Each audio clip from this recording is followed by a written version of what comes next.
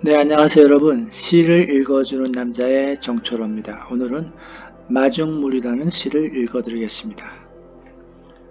마중물 정철호 그냥 한 바가지 물일 뿐인데 솟아오르는 물줄기 포도포도 그 끝을 알 수가 없습니다. 당신이 내게 주신 그 몸짓이 저에게 다가와 바다가 되었습니다. 네, 마중물이란 시입니다. 마중물은요, 펌프질을 할 때 물을 끌어올리기 위하여 위에서 붓는 물입니다.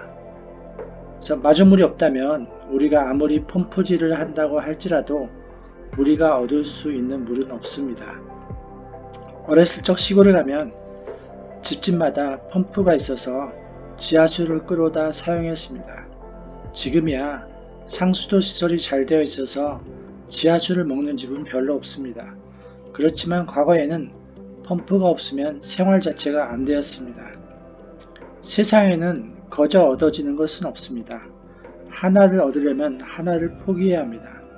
제로섬 이론처럼 하나가 이득을 얻는다면 반드시 손해를 보는 쪽이 생긴다는 것입니다. 마중물은 큰 하나를 얻기 위하여 작은 하나를 주는 것입니다. 우리의 사랑도 그러지 않을까요? 조금의 관심과 사랑이 마주물이 되어서 큰 사랑이 되고 사소한 긍정의 말 한마디가 큰 성과로 이어지는 것은 아닐까요? 네, 오늘은 마중물이라는 시를 읽어드렸습니다. 감사합니다.